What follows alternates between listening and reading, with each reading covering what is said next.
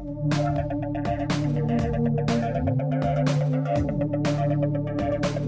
everyone, it's Evgeny, and we're doing episode 6 of Portfolio Reviews here at 500px HQ. Today with us is Nuno Silva, Director of Content at 500px Prime.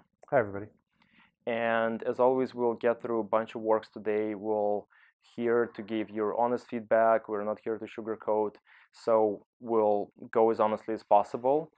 And uh, Nuno here is to help us figure out which photos are actually sellable on 500px Prime what we're looking as buyers and uh, what the buyers are looking for and what we're looking for as the company. So it will help you to get uh, better as a photographer commercially and will help you sell more of your works.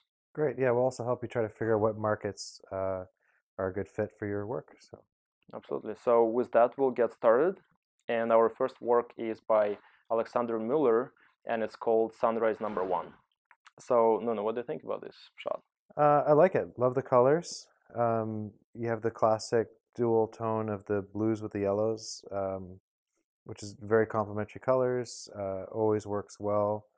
Um, nice golden hour here, and I like the fact that I can actually see some of the green detail in the grass in the foreground. Um, so right away, I think it's it's pretty nice, um, but there's no real uh, focal point here. I don't. It's just kind of just this plain field and the, the line of trees in the background. Uh, would love it if there was a barn or even certain reeds of grass or something uh, to draw my eye to a specific point. So I guess what you're telling me is that there's no consistent story to mm-hmm. that photo. That it's just a plain landscape mm-hmm. and it's good, but we want something more to that, right? We want like make it more interesting. Get a barn, get a person there, maybe a horse. Mm-hmm. They're not mutually exclusive. Yeah, be a person with a horse something to make it memorable, something to really stand out, and for me to remember, hey, that photo of that. Like I would never say that great background photo of the field. Um, right. You know, there should be some kind of something to draw my eye, some kind of compositional elements. The clouds here work well in that regard, but then it doesn't really line up with the lines in the grass.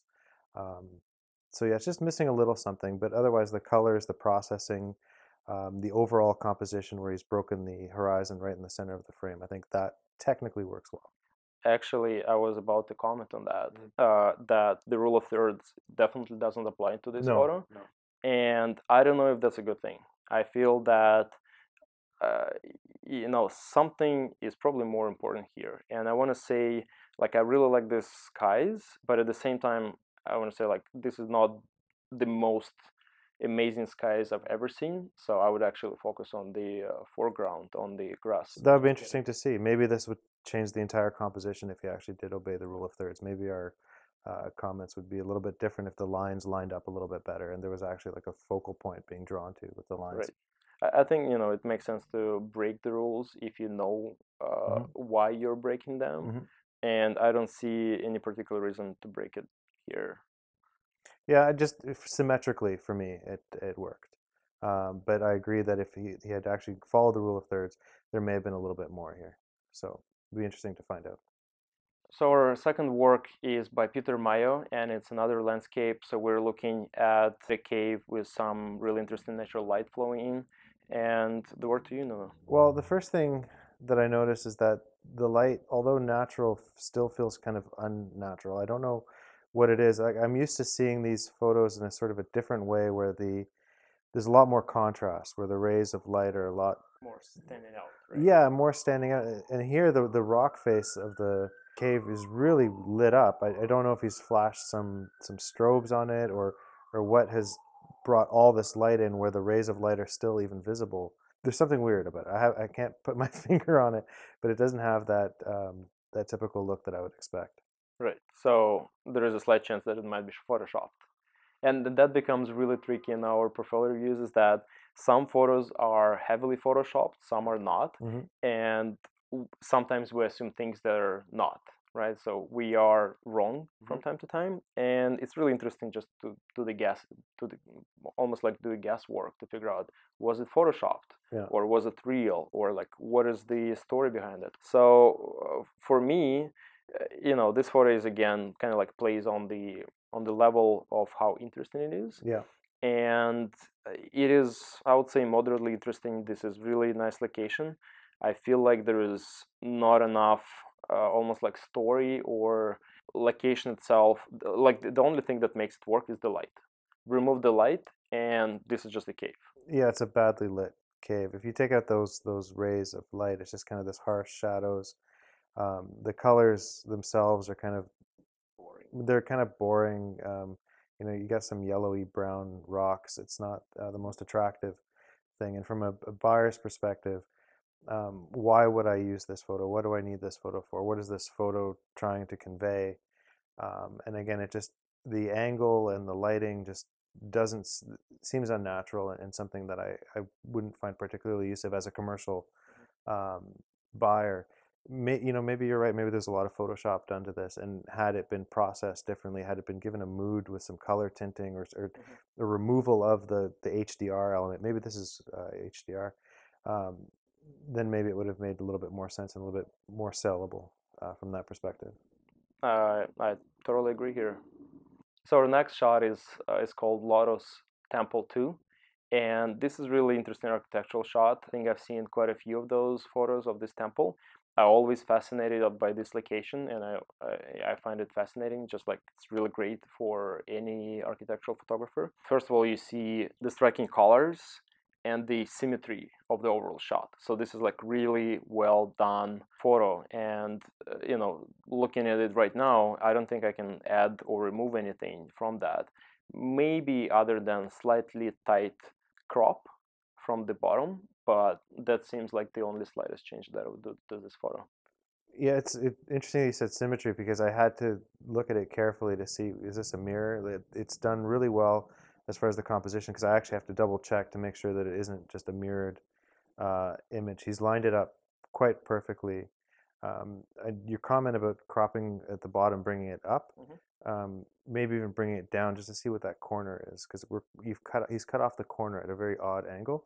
So if you cropped it up, I would hate to cut off that second corner at the very bottom of that uh, pool. But I see that you you know what is happening with Yeah. the corner, so it's not something. Uh, it's not the main part of the of this photo, right? We're we're totally nitpicking uh, at this point. It's a beautiful photo. Uh, as Evgeny said, the colors are, are gorgeous, um, and I think he's really nailed the symmetry and the composition here uh, in the photo.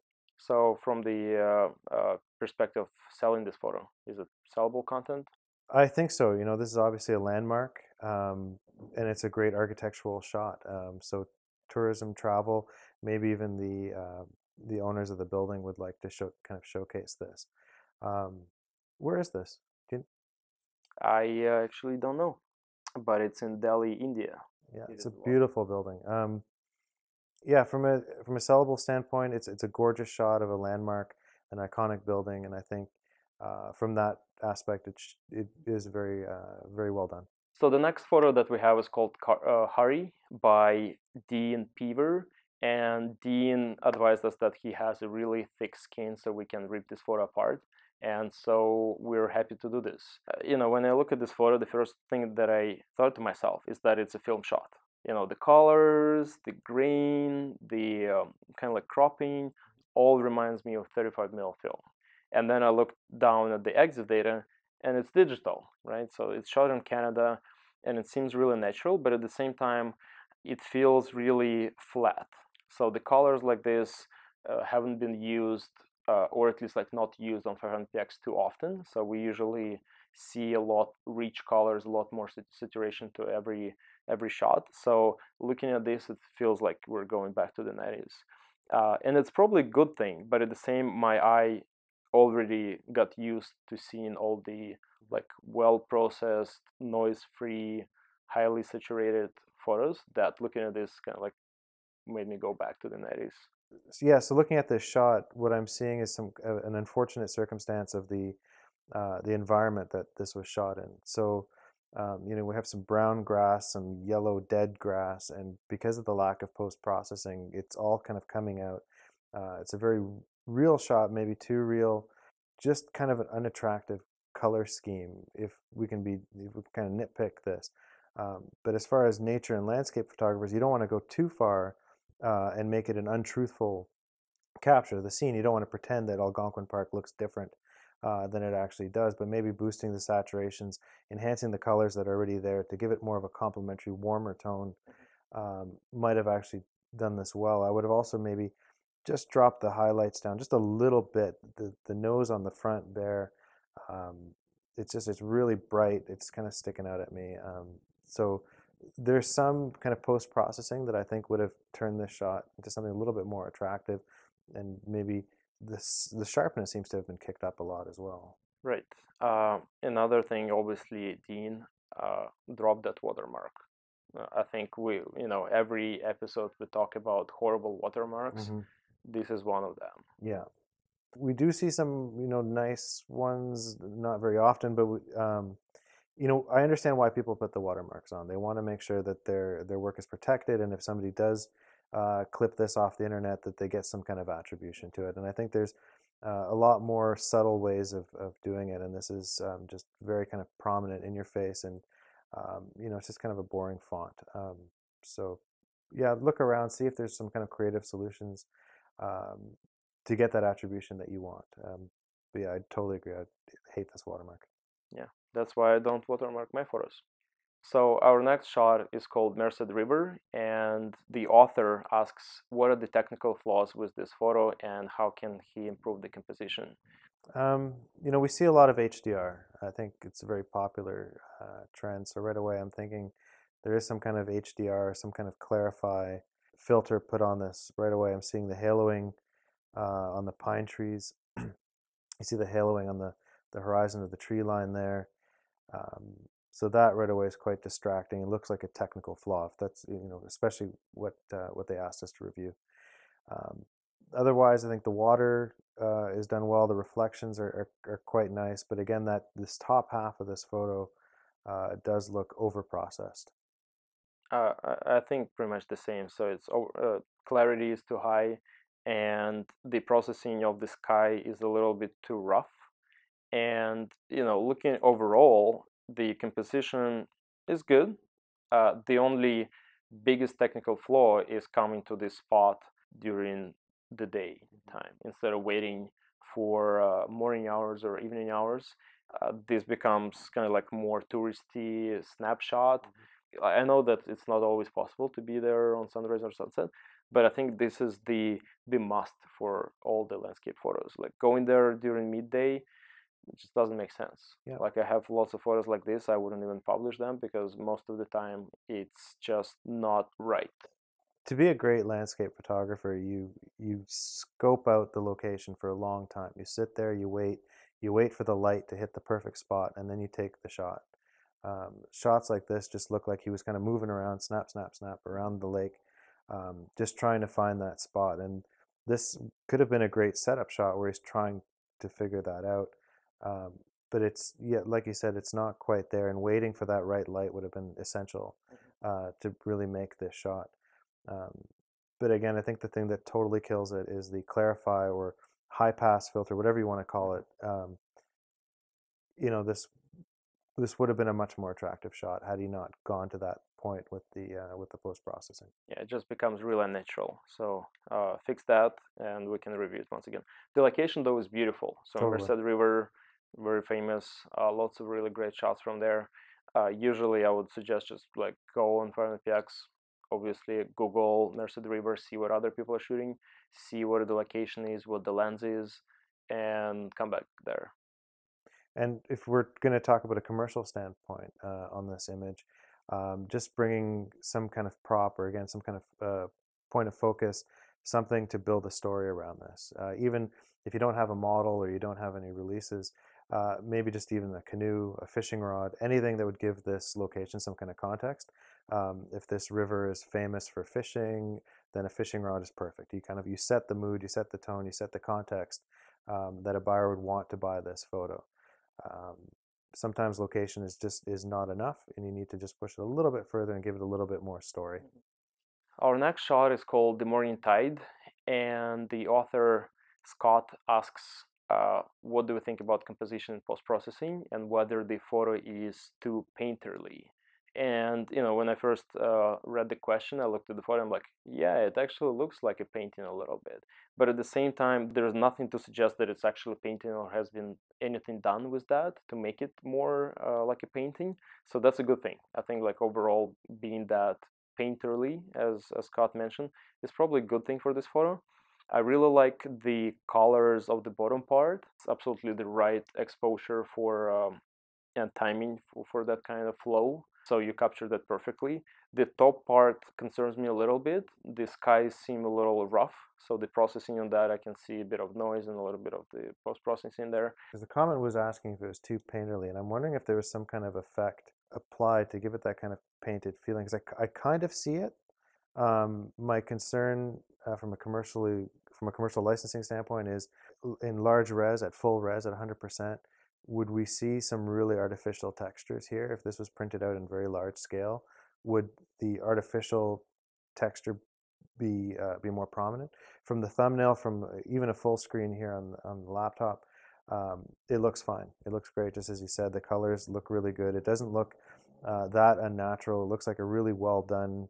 Um, long exposure photo with very lucky streaks that have happened with the with the water flow uh, usually a shot like this would just be either all white or there'd be some kind of, you wouldn't get the very lucky streaking um, that he's gotten here, which is just fantastic. It looks like, you know, hairs, like, like paint lines uh, almost. So, so that part's great. The colors work really well. Colors are very complementary.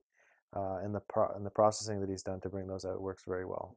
Awesome. So from the composition standpoint, I think it's uh, it's good as well. Uh, it might I might go a little more wide angle and get a little closer, but it's more of a personal preference mm-hmm. to that. So I think it works well here with the rocks uh, on the foreground and on the left. I think it works well. Yeah, I think it works well. It's a very pretty shot. Uh, can be used commercially for uh, kind of interesting backgrounds that talk about, uh, you know, inspirational uh, sayings or some some kind of inspirational advert um, where this photo could be a, a, great backdrop to that because it is interesting enough. There's enough going on in the photo um, that I would say it, it does work. My, my only comment again is just to double check this at 100% magnification and make sure that that post processing hasn't gone so far to the point where a commercial buyer would um, be disappointed when they got the full resolution image. Our next shot is called On the Balcony by Patrick, and Patrick asks us a question. I would love to know what you think about the shot. I find it hard to critique self-portraits and read whether I'm connecting with the viewer or not. It's quite intense. Um, he is definitely in my face uh, with the with the selfie here. It looks like he's sort of held the camera in front of him, um, which is unfortunate. I think when you're doing a um, a self-portrait uh, like this, it should be a much more interesting composition. It shouldn't be so um, in your face. In your face, it, it, in your face, you get like another if, face. If somebody yeah. was sitting across from me in a table, looking at me like this, I'd I'd be worried that something was going on. It, it just it's a very intense expression. It's very very close up, very kind of. I, I can't say enough. It's a very intense portrait. But that is the question: Does it connect with you? And I think like you're saying that it's really intense. Yeah. And by this, I think it actually connects with you. But do I want it to connect with me in this way. And I don't think he's I don't think Patrick was trying to make this kind of threatening, intense connection with me. I think he was trying to uh, peer into the viewer's eyes uh, and maybe in a more thoughtful way than than it came across in this. If that is the if that was the intention, then no, because I see a threatening guy looking at me as well. So I would love to have a bit of distance between you, Patrick. Yes. The the shoulders are also up. You see there that it's it's a very kind of tense posture that he's got. So yeah, maybe step back, set your camera on a timer. Um, there's a lot of really great ways to to figure out what the focal point will be if you set um, your camera on a timer. What do you think of the post processing? It is a film shot, so we see that it's been processed, uh, shot with Polaroid, and uh, has uh, all the special effects done manually mm-hmm. with film. So uh, you know, this I really like. I really like that it's uh, a thoughtful process to make this shot. So I think there's something going on with this shot for sure. Yeah, I would have loved to see even some um, some kind of context to the photo um, because if you have the surrounding uh, elements, then you have more of a story about uh, who this character is and um, and why I should connect with him and how I can uh, empathize with him and how I can relate to him. Um, and I think that would be essential. I think this gave me a thought is that you know write a description and write thoughtful descriptions. Think about there's a couple of shots uh, that we reviewed in the past where where the headline or the title of the photo doesn't connect with the photo at all. So uh, I think the, this is actually one of the other shots. It's called on the balcony. We don't see the balcony here. We yeah. see we see you, Patrick, here. So uh, I feel that a thoughtful title and a thoughtful description that actually tells us why we should care about the shot helps a lot to communicate the message that you want. Yeah, and to give it that context. Right. Yeah, I agree. Our next uh, shot is by Eric, and it's called Fermoil. And Eric asks us a question. Uh, hi, I would love to critique my one of my images if possible. I'm a bit of a purist, and I tend to avoid Photoshop and use Lightroom minimally. Feel free to choose one of the photos. So you know, I, I, have to be really honest. I picked this photo because I really like it. Uh, I like pretty much everything about this, the soft tones and the colors and the reflection of the clouds and the long exposure.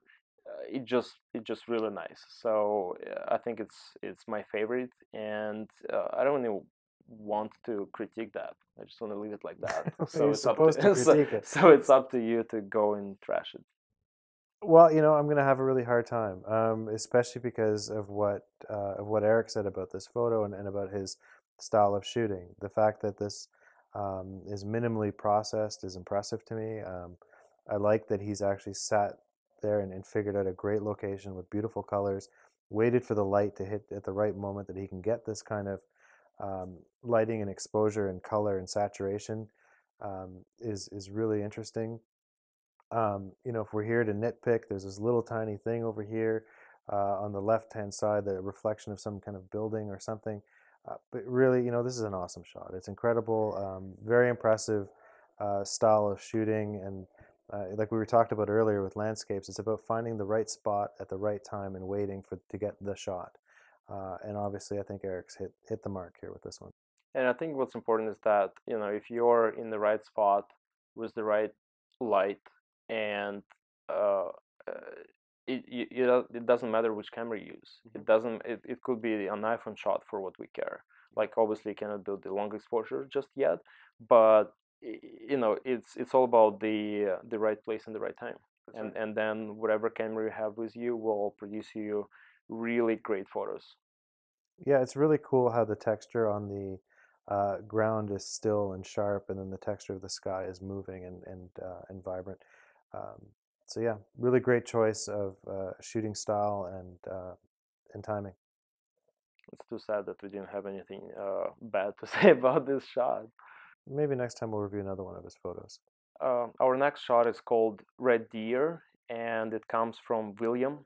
This is pretty impressive shot. What I like about the shot is that it's actually kind of like landscape format almost. So it's really wide crop and and I really like about this. I think it, it's just the right cropping here because the legs of deer disappears in the flowers and in the uh, bushes and it just like cuts right there so i think it's really good cropping here i don't have anything bad to say about this one as well i think i started on a positive note and then i just want to go on and say that i really like the a bit of noisiness and i think it's actually adds to the photo it, it looks like a film shot and i think it looks really natural uh, so again, no, it's in your court. Uh, say something. Well, say something critical. Considering the the bear shot that we saw earlier, I think this is a great photo to bring up now and, and maybe do a comparison between these two photos um, and the lighting and the color um, differences in the two photos that are somewhat similar, where you have uh, wildlife in a field, um, and you can see the differences in the shot. Here we have uh, a beautiful depth of field um, that's highlighted uh, quite well. The the bokeh in the background is gorgeous. Um, I like the the purple uh, color. It seems to complement well with the brown of the the deer and the green in the background. So all the colors are really working really well here.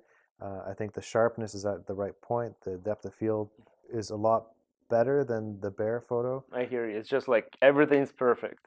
What I really like is is the tonality. Is that you know it's it's in one kind of like ev- like all the tones are well balanced. The background is not overblown or too dark. It's probably just again the right timing and the right spot, Mhm. just being in the right place with the right light. And it's probably more like overcast, like you know we don't see any shadows there, so it's it's good lighting for that.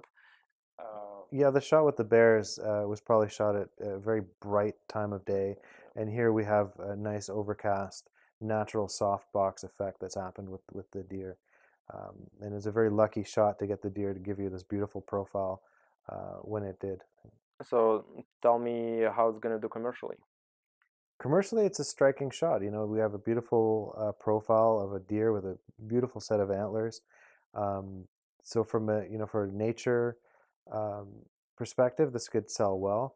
Um, if you want it to sell in in that market, make sure that you you tag and uh, keyword the file properly. Make sure you get the the species of animal, the location, the maybe even the time of year.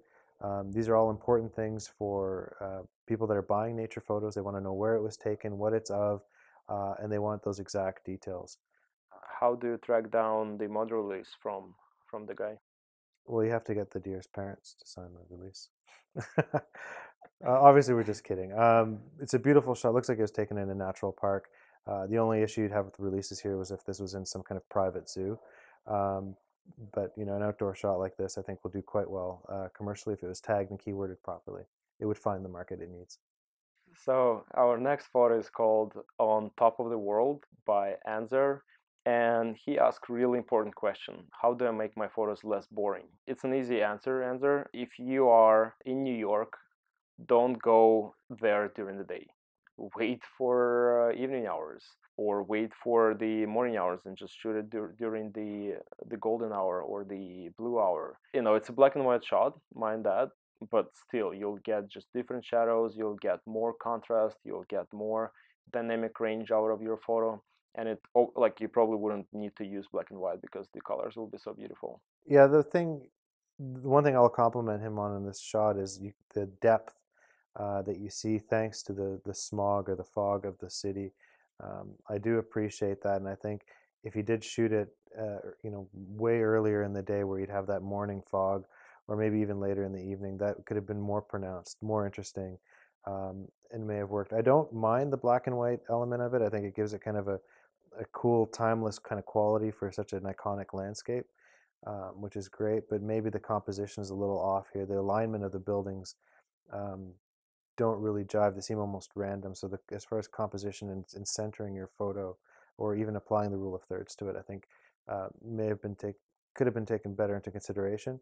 Um, I do like the idea of the the very wide crop. I think that's kind of a good idea, but maybe the execution wasn't um, wasn't perfect on this one. And I one more thing that I also enjoy about this is that you can see the curved uh, landscape, the curved tone, which kind of makes you feel like you really step back, a really wide shot, which is which is interesting. Uh, but again, it, the curve is not in the center of the frame, so it, it kind of throws me off from a, a, compositional standpoint. You know, I think more on, on the general note, uh, if you're, it's probably shot from the rock, mm-hmm. and if you're going there to shoot during evening hours, make sure that you have ample of time ahead of you because it's going to take you one or two hours to get to the top. So if you're shooting for or aiming for a sunset, um, get there two hours earlier to get there. But yeah, it just uh, you know, for me personally, there's not enough contrast in the shot. Mm-hmm. I can see that the uh, the skies like that it's the, the most that you can do so there's just like no contrast in the skies i can see why why, why it's black and white just because it was pretty boring uh, in uh, in color mm-hmm. yeah i agree um, i think they're just the execution here is it, it just missed the mark our last photo in this episode is called The Man and His Mustache by Igor, and Igor asked us a question. How would you compose the frame, and what is your overall impression of the photo? First of all, when I see this shot, I really like the, uh, you know, the overall scene. I think uh, having a photo of such a standing out person is pretty cool. So I really like those street portraits um, like this. Uh, the black and white processing is really good as well. Just kind of like, you know, it is the clarity here is used very appropriately. right? It's like it's over sharpened, but because there is a lot of hair and mustache, it just like makes it really striking. Yeah, and well, you don't. It doesn't look over processed. You don't get the the haloing that uh, we saw in some of the other shots. Uh, my comment on this is, uh, I love this guy. I love this character. I love his uh, his mood and his expression. I think um, he's a wonderful subject to shoot. I love how he's a little gritty. Um, the hairs are all uh, astray, and I think that just makes the character. Um, unfortunately, though, I, I, don't think this is very flattering uh, for this individual. The the jowls and the chin um, really stand out. I know that that's part of uh, who he is, uh, but I think changing his pose or maybe moving around him a little bit more may have uh, gotten you a, a, little bit more flattering uh, But that's not a beauty or fashion photo shoot. So you're looking at the journalism type street mm-hmm. photography, and the only thing that I don't like here is the cropping. So I think it's actually cropped, uh, should be cropped the other way, right? So like more space on the right and less space on the left, or like more centered, and it, it would make photo more lively I would say. But I really like it. You know, I like that it's actually unflattering. Yeah. I like it that he is a character and he is a really vivid character at that. And he is willing to be that. I'm sure he is okay with that photo. Yeah, the eyes are just striking in this photo. Uh, this guy has obviously a lot of character. Um, maybe I just want to see more. Uh, I'd love to see more of this uh, of this individual. I think uh, as a subject, as a photo, uh, a photo subject, uh, he's very interesting. There's a lot of wonderful lines and colors and textures um, in this character uh, that are worth exploring. So tell me uh, commercially, can this be sold? Commercially, with a release, obviously, um, you know, it might have a market as you know, being real people, real authentic characters um, would be interesting. But you, in this case here, it would be a little bit of a harder sell um, because there's it's lacking a little bit of context.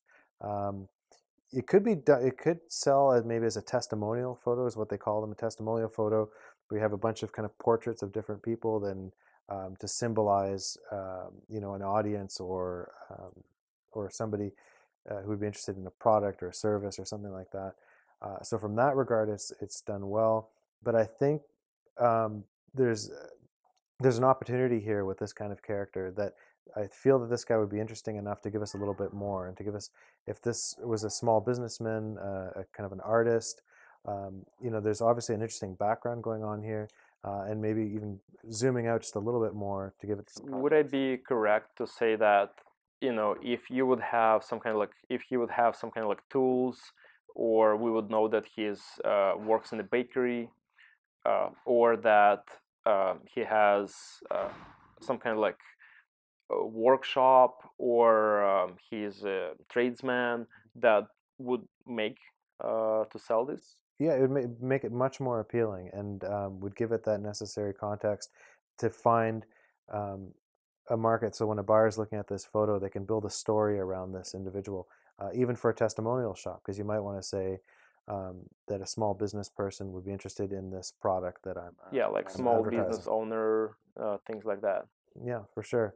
And again, he's a real person. This is not a, a model uh, that's faking being a tradesman or a small business person.